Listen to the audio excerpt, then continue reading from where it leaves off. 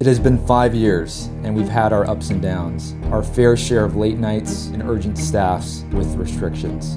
What you see is a company crafted to perfection, engineered to defy the laws of home care. An organization called by Forbes as most promising, and by Inc. as fastest growing in America. This has given me the mindset to master the most epic of splits.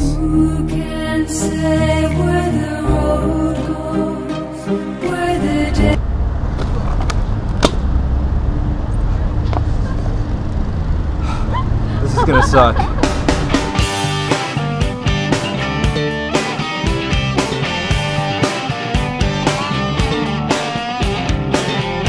If an office hit their goal, they can pick sort of a punishment.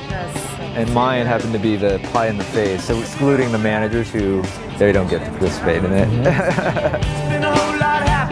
Hi everyone, it's Murphy from the corporate office. You all know me. Every year we do an Alzheimer's walk in Los Angeles that's extremely key to helping all of our territories grow. Now, to give each one of our branches, including the corporate office, an extra incentive for each one of the faces of our company, we decided to ask them to volunteer to perform an activity if an office reach their goal. Shaving their hair, um, dyeing their hair, eating balut, and tons of crazy things. Big shout out to Roya's mother from Sam's Club for donating so much to our cause. We were able to raise over $4,300 towards the Alzheimer's Walk, helping us total more than $7,000. Now, for this, Ryan has volunteered so graciously to take one for the team and get pied in the face.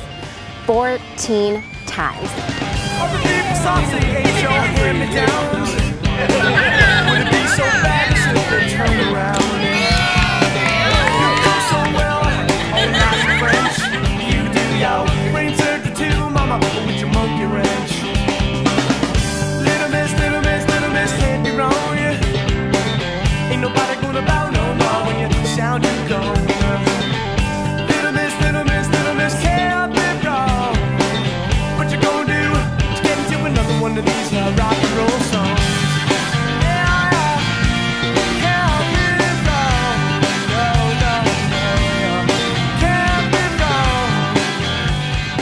On behalf of the Alzheimer's Association, California Southland chapter, we do thank all of everyone who is part of the walk team for the Walk in Alzheimer's.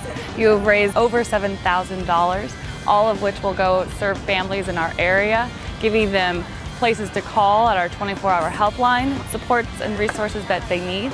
It's also going to go straight towards research so that we can help fight towards a cure. Thank you so much, everyone at 24 Hour. We appreciate it. Good job with your fundraising efforts and Pine, your boss. Thank you.